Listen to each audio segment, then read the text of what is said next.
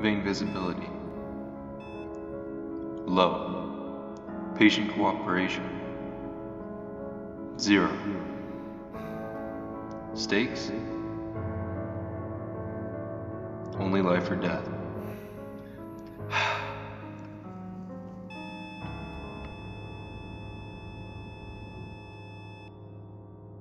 Peripheral intravenous catheter, PIVC, insertion is a routine medical procedure where medications or fluids are introduced into the bloodstream through a small flexible tube inserted into a vein with a needle. Around 50 million PIVCs are sold annually in the USA. It is one of the most commonly performed medical procedures. In urgent care situations, infants typically undergo this procedure with little first stick success due to their anatomically small and fragile veins, meaning multiple insertion attempts are required to administer critical, potentially life-saving medications. When PIVs fails, clinicians often have no choice but to resort to more invasive methods, like drilling into the bone to access the bloodstream. These procedures are costly, traumatic, and can delay life-saving treatment. That's why training matters. Our objective is to guide practitioners and give practical feedback such that they can perfect their techniques and gain confidence during the procedure.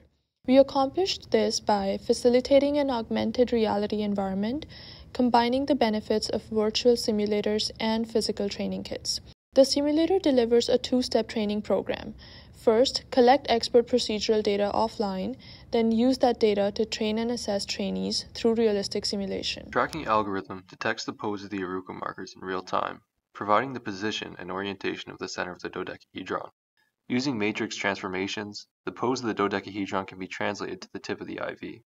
The live data is then compared to the expert's data, which is saved on a backend database. If the user is within the standard deviation of the expert data, then the user's performance is deemed acceptable. Otherwise, the user will be notified and prompted with directional indicators to return within the range. During the procedure, the trainee will be guided through the simulation by selecting which vein and which insertion location they'd like to choose.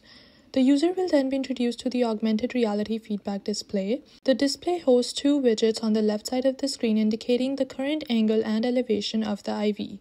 On the right side of the display is the mean and standard deviation of the expert trajectories plotted alongside the live data. The user is prompted with directional cues overlaid with the vein, guiding the user through the procedure. When the simulation is complete, the user will receive a final score by assessing the similarity between the expert and trainee's trajectories. The combination of these instructional mechanisms, from live to post procedure feedback, provide a seamless training experience.